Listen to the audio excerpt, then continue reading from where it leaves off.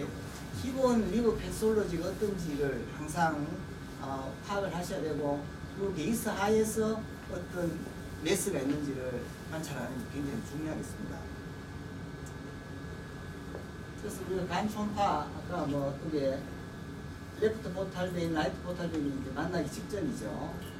right lobe하고 네, left lobe 어, 이렇게 하는데 우리가 총파를 하면 그러면 뭐를 봐야 될 것이냐?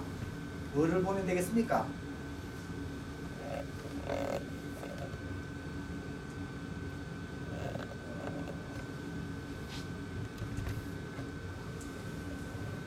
첫째로는 configuration 전체적인 configuration을 봅니다.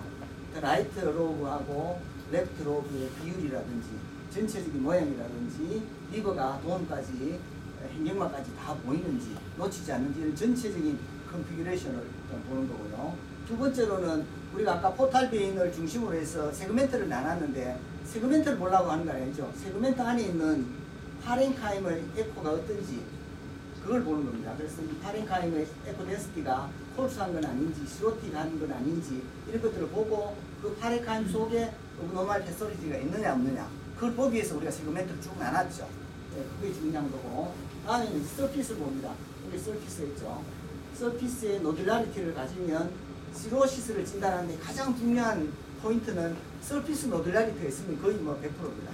제일 중요한 소견이 surface nodularity인데 surface를 가야 되고 그 다음에 portal vein하고 그 다음 intrahepatic duct, hepatic vein 이런 에, 구조물 안쪽에 관상 구조물이 어떤지 변화가 있는지 늘어나 있는지 tortuous해졌는지 이런 것들을 보는 거죠. 그 다음에 extrahepatic 그 다음에 collateral vessel이 있는지 spleen이 어떤지 그 다음에 CBD가 늘어나 있는지 이런 것들을 보는 겁니다. 그래서 우리가 보려고 하는 포커스가 뭐냐 우리가 probe를 잡았을 때 liver를 뭐를 볼 것이냐 이걸 관심을 갖고 이 기본에서 출발해서 문제를 풀어나가시는 게 좋을 것 같습니다. 자, 선생님 그러면 얘는 뭐가 보이십니까? 그냥 편하게 하셔야 됩니다. 이거 우리 편하게 하려고 우리가 대웅에서 일부러 한 10명 정도만 모아가지고 우리끼리 하는 거니까 보시기에 어떠, 어떻, 뭐가 이상합니까? 혹시 보시고 반실질인데 콜수하죠? 네, 예, 네. 콜수합니다. 반실질 아까 콜수하다 coarse 중요하다 그랬죠? 또 뭐가 보입니까? left blunting lower margin이 blunting해졌죠? 샤프해야 되는데 blunting해졌죠? 또 nodularity가 이게 anterior surface고 posterior surface인데 뒤쪽이 nodular하죠? 여러분들이 말씀하신 분들 다 봤습니다. 진짜 그렇습니까? 이게 노말입니다. 컨트롤하고 보면 확실히 콜스하고 확실히 뭉툭하고 뒤쪽이 너들나죠. 우리 이걸 보기 위해서 아까 손준혁 선생님이 그렇게 강의했는 거거든요. 그래서 이렇게 노말을 자꾸 보고 노말을 익혀놓고 이제 어노말을 우리가 찾아가는 거니까 우리 이 환자 아무도 아무것도 없네 하시지 말고 아 내가 노말을 잘 봤다. 노말을 이렇게 내가 사진을 찍어놨구나 하는 걸 여러분들이 익혀놔야지 abnormal에서 아 이 사람 이상하다 알수 있는 겁니다. 그래서 역시 말씀하신 그런 것들이 있고요. 어떻습니까? coarse하죠? 이렇게 coarse하면 아까 뭐라 했습니까? underlying liver disease가 있는 환자죠. 이런 환자는 우리가 더 열심히 봐야 되죠. regenerating nodule이 어떤지, dysplastic nodule이 있는지, mass가 있는지 이거는 cirrhosis라고 내가 판단을 해야 되나 말아야 되나 이렇게 굉장히 경계를 갖고 보고 환자한테도 좀 적극적으로 설명을 해야 되고 당신은 어? risk factor를 많이 가지고 있다. 그래서 내가 최선을 다해서 찾아보겠지만 당신도 점검을 열심히 해야 된다. 이런 걸 같이 해야지 놓치지 않을 수 있습니다. normal이라고 보면 확실히 찾겠다. 어. 그 다음에 vessel, main portal vein이죠. 여기 artery가 있습니다. 1.58cm, 1.3cm 넘으면 됩니다. 이렇게 재놓으면 늘어나 있고 spleen 많이 늘어나 있죠. 아까 13cm 했는데 이건 뭐 책마다 조금 차이는 있고 어, 그 다음에 spleen이 모양이 대개는 약간 concave하게 이렇게 초승달 모양이 가까운데 이 빵빵하게 보이면 늘어났지 않나 생각해 보셔야 됩니다. 그래서 사이즈도 중요하지만 키가 180인 사람도 있고 할머니 150대는 할머니도 있어서 절대적인 사이즈도 중요하지만 작아도 빵빵하다 싶으면 아 이거 비장 커진 거 아닌가 생각해 됩니다. 감각이 중요해요. 그 다음에 아까 뭐 지방간 다 이야기했는데 다른 건 이야기할 거 없고 요렇게 hyperechoic이라는 mass가 있죠. 그러면 이게 regenerating nodule일까 cyst일까 아니면 이 HCC가 small size일 때 고민이 되잖아요. 고민이 되는데 지금 보면 underlying하게 fatty liver가 있는 거죠. 뭐 이런 봐서는 명확진 않지만 아마 다른 view에서는 막 kidney의 cortex하고 비교한 영상이 분명히 있을 거죠. 그럼 underlying liver disease가 있고 이 포칼 패스 히어링은 polygonal합니다. 그러니까 각이 져 있어요. 뾰족뾰족해요. 이게 우리가 mass나 cyst는 round하죠. 동그랗게. mass도 expansion 하면 동그랗게 자라는데 반해서 이것들은 대개의 원인이 blood supply에 문제가 오는 거기 때문에 polygonal하게 돼요. 두 번째로는 위치가 잘 생기는 위치가 있어요. 아 여기 생기면 focal sparing of fat 가능성이 많다는 것을 염두에 두고 있어야지 놓치지 않고 또 헷갈리지 않을 수 있습니다. 아까 뭐 다 이야기를 하셨고 이 폴리곤을 다 각이 딱 깎여 있다. 그 다음에 패티리버가 이미 있는 환자한테 이런 것들이 보이고 그 다음에 잘생기는 부위가 있고 이런 메스처럼 보이더라도 다른 구조물을 방해하지 않죠. 혈관이나 덕트가 아, 변형을 밀어낸다든지 이런 것들이 없다는 거죠. 그러면 포카테 스프링을 한번 생각해 보셔야 되겠습니다. 54세 된 여자입니다. 헤파타이티스 B피해고 스크린 초파 어떻습니까? 12cm의 huge한 mass underlying liver pathology는 비교적 괜찮은 것 같죠. 보이기 어떻게 보십니까? 어떻게 describe 좋 굉장히 huge한 mass가 right lobe의 많은 부분을 차지하고 있고 경계는 아주 분명하고 약간 irregular하고 internal echo는 좀 다르죠. 좀 에코 떨어진 부분도 있고 좀 많은 부분도 있고 우리가 경계가 아주 선명하면서 이런 huge한 mass가 있는데요. 됐어요. mass가 아주 크죠. 흔들한 리버는 비교적 괜찮아요. 경계는 아주 이게 난주어마인지 EGCC인지 유세스인지 이렇게 잘 이, 이 정도 되면 좀 무섭죠. 겁도 나고 어? 저도 겁이 났습니다. 이게 이 사람 1년 전 총파소대 명제지 갔는데 1년 전에도 냉 right lobe의 많은 부분을 차지하는 huge한 mass가 있었습니다. 이 밭은 아마 malignancy 아닌가 하면서 모양은 조금 다르죠. internal contents의 모양이. 그래서 이 환자는 hemangioma인데 보통 한 6cm가 넘는 이 거대한 크기의 혈관종을 거대 혈관종이라 아주 혈관종이라 하는데 이 내부의 변화가 석회라든지 혈전, 출혈, 낭종성, 변성, 대사 등으로 해서 어, 아주 불균질한 그런 에코로 있습니다. 그 사이즈는 굉장히 크지만 경계가 비교적 선명하고 대개는 이, 이 HCC의 경우 페이트를 할로를 잘 형성하는 데 반해서 이건 혈관종은 어, echogenic한 rim이 echogenic한 하얀 라인이 이렇게 보통 살아 있는 게 보통 우리 small hemangioma 이렇게 아주 homogeneous하게 bright하고 경계가 선명한 어, 그런 부분 안에서 보일 수가 있습니다. 그래서 혈관종은 뭐 대개는 뭐 크게 문제가 없죠. 혈관종인 것만 확인이 되면 그러나 처음 진단되는 혈관종이라면 그래도 CT를 한번 확인하고 그다음부터 follow하시면 거고 아까 모양이 달리, 다른 시간에 따라서 어, 같은 mass의 모양이 달라지는 렉스의 메인 사인이라고 하고 체위를 바꿔보면 그 또 혈관종의 모양이 또 달라집니다. chameleon sign이라고 하고 compression을 해보면 눌려서 어, 이 모양이 또 달라지는 거예요.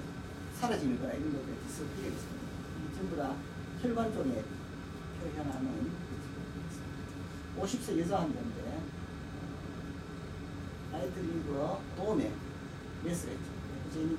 있고 어, 여기 dome이 있습니다. 2006년도 2010년도 조금 달라졌습니까?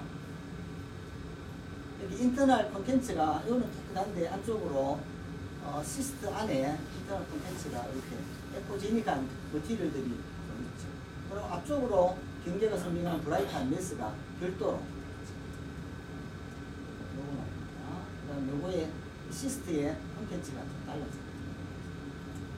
그래서 이 환자는 cyst의 다양성을 보여주는 환자인데 시스트가 있으면서 월에 칼시피케이션이 이렇게 round하게 둘러싸고 있는 경우고요. 그 다음에 요거는 어, hemorrhage나 이기 때문에 시스트의 네이처가 성상이 조금 변했는 거고 요거는 혈관종으로 진단되는 겁니다.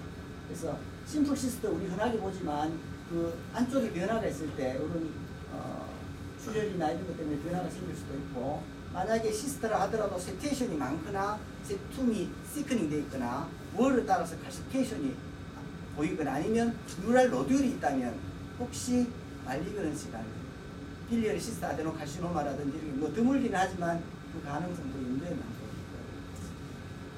그다음 간세포함인데요. 지금 어떻습니까? 우리 메스가 포커스고 아까 말씀드린 언더라잉하게 시로티가 하는 이거겠죠. 그러나 이 메스가 주변에 페리페리 할로가 있고 에코 패턴이 에코가 좀 다르죠.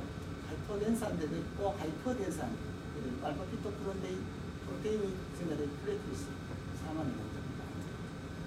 CT 찍어 보니까 arterial enhance 되고 delayed washout 되는 HCC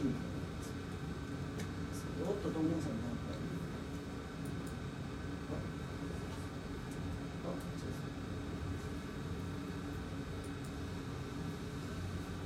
아까 hemangioma하고 거의 유사한 양상이죠. 같은 사진은 아니고요. 이거는 peripheral halo 가지고 선명하고 휴전 메스고 septo민지는 분명치 않습니다만 internal content는 굉장히 heterogeneous한 huge한 mass가 있었던 그런 환자입니다. 이 환자는 HCC로 어, enhance가 되고 washout이 되는 HCC 환자이고 underlying pathology 비교적 괜찮은 환자고 알코올 비교적 그래서 이 총파만 가지고 우리가 단정적으로 말하기는 어렵다. hemangioma 같으면서도 HCC인 경우도 있고 HCC를 뜨면서도 hemangioma 처럼 보이는 경우도 있기 때문에 항상 확인하는 게 아까 손준혁 씨 말씀하셨지만 HCC는 분류가 결절형, massive, diffuse 이 세 가지 나오는데 우리가 nodule이라고 하고 mass라고 하는 게 대개 결절형을 말하는 겁니다. 그 말고 massive한 타입과 diffuse 타입이 있다는 것을 기억하고 있습니다. nodule이 없어도 이 사람이 HCC일 수 있다는 것을 기억하고 있어야지 그걸 찾죠. nodule이 없으니까 이 사람이 HCC가 없다고 생각하면 이 두 가지는 놓칠 수 있습니다.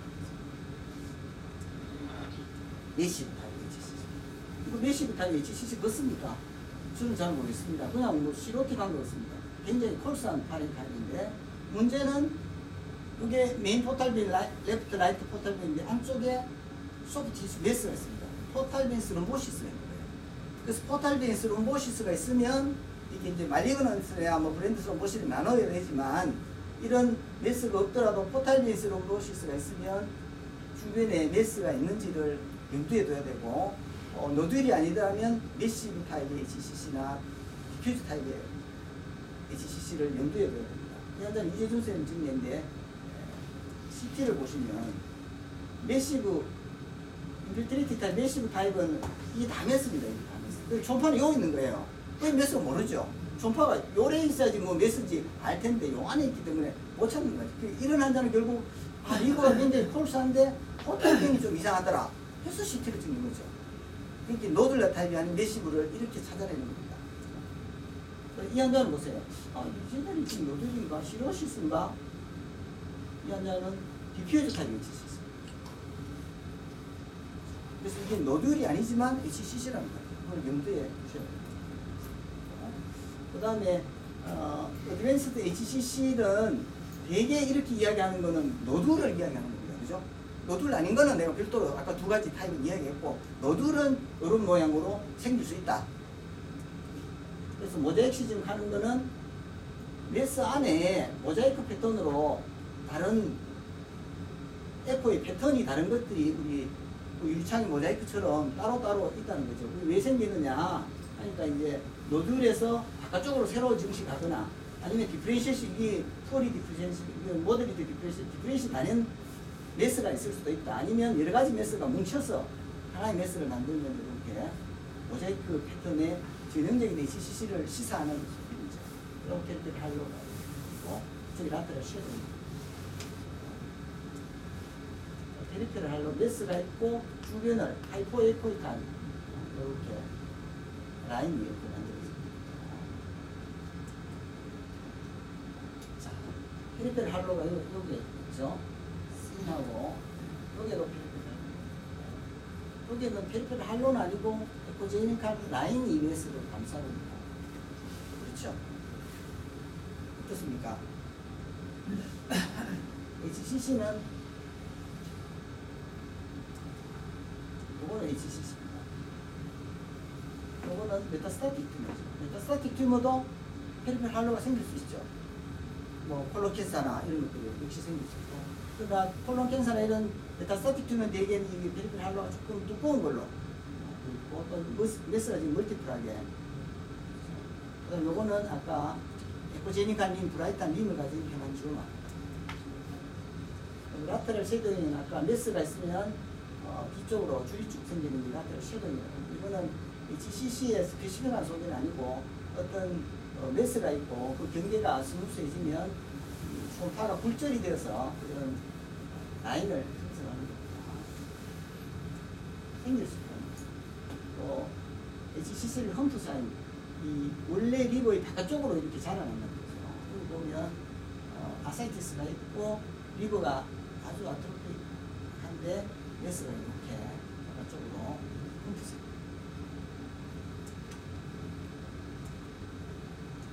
portal vein thrombosis. 이 portal vein thrombosis는 여기 보세요. 레프트 포탈 베인 허리젠탈 롬비리칼 포시인데 라이트 포탈 베인이 넓어져 있죠. 많이 늘어나 있고 한쪽을 완전 soft tissue가 거예요. 여기도 보시면 이렇게 mass가 아까 여기 메시를 다 유지해줬어요 지금.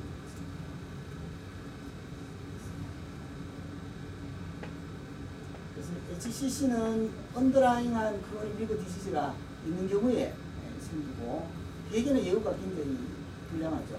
늦게 발견되고 환자가 이미 cirrhosis나 이런 게 있고 그 다음에 portal vein thrombosis 잘 생기기 때문에 prognosis가 불량한데 불량한 게 뭐가 문제인가 하면 불량하니까 환자들이 complain이 많아지는 겁니다. 그래서 우리가 항상 조심하고 환자도 조심하고 그래서 nodule을 할 때는 small한 거한 2cm 이하일 때는 대개는 이렇게 hypoechoic한 mass로 보입니다. 그러다가 커지면서 조금 heterogeneous 이렇게 하다가 나중에 이제 이렇게 모자이크 패턴을 가지는 아주 huge한 mass로 이건 어떻습니까? 이거 left lobe하고 S5 포즈 인발과는 작은 mass들이 모여있죠.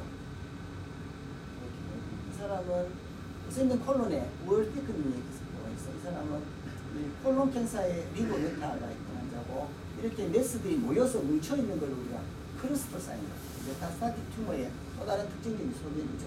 뭉쳐 있는 거죠. 그다음에 요거는 리버 랩트로 요 메스가 있고 메스가 있죠. 페르펜 할로가 있고 이게 휴저 비교적 큰 메스가 있고요. 체중 감소로. 포타이 파티소니 멀티플라이 리프모드가 있고 여기 스토막입니다. 스토막을 총파로 왔는데 무엇이 많이 좀 두꺼워지고 브라이트한 부분은 리보멜이 되어 있습니다. 그래서 어드밴스드 가스트 캔서고 리버 메탈 그래서 총파를 아까 손정실 잘 주셨는데 그런 좋은 영상을 만들기가 쉽지는 않습니다. 대개는 어, 이거 심창섭 선생님이 말씀하시는 건가 그런데 한쪽자를 너무 빨리 빨리 움직이 천천히 조금 움직이셔야 돼요. 천천히 보면서 자꾸 돌릴 게 아니고 내가 원하는 걸 찾고 이렇게 돌려야 되니까 그리고 또 한쪽자를 너무 강하게 꽉 쥐고 있습니다. 손목을 풀어서 좀 부드럽게 이렇게 잘 움직여야 되고 대개 보면 잘 보이는 부분 봅니다. 자기 보이는 부분 S5만 계속 봅니다. 사진을 20장을 찍어놨는데 7번, 8번은 계속 없다는 말이죠. 그래서 아까 나나는 이유가 1번부터 찍으라는 말이에요. 그래서 보이는, 안 보이는데도 어, 찾도록 노력을 해야 되는 거고. 그래, 안 보이는 부분을 찾으려면 결국은 뭔가 조절해야 돼요. 호흡을 조절하든지 자세를 바꾸든지 한자를 안 춥든지 이렇게 해봐야지. 그래도 안 되면 내가 모르는 거지 병이 없, 없는 게 아닐 수 있기 때문에 그래도 안 보인다. 나는 의심이 된다 싶으면 CT나 MRI 찍어야 됩니다. 괜찮습니다. 갈때 아니고. 그죠? 내가 보이는 여기까지는 괜찮은데 저 뒤에는 나도 모르겠습니다. 그래서 그 최근에 그 AA SLD 그 보면 크로닉 리버 디시즈가 있는 환자한테서 1cm 이상의 노듈이 있으면 무조건 CT나 MR을 이렇게 그래서 결절이 있으면 다음 스타디가 있으니까 그거를 환자들은 기회로부터 우리가 뺐, 뺐을 필요까지는 없다. 어, 결절이 있는데 뭐 양성 거치만 그래도 찍어 보는 게 좋겠다고 이렇게 이야기할 수 있습니다. 그래 해보시면 아마 훨씬 더 좋을 것 같습니다. 감사합니다.